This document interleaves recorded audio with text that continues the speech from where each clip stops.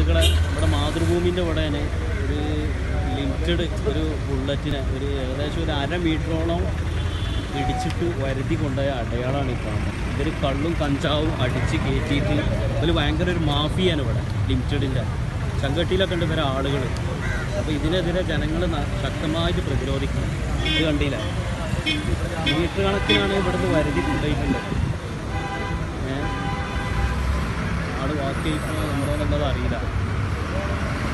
അപ്പോൾ ഇതാണ് നമ്മുടെ നാട്ടിലത്തെ അവസ്ഥകൾ. ഇത് കണ്ടില്ല?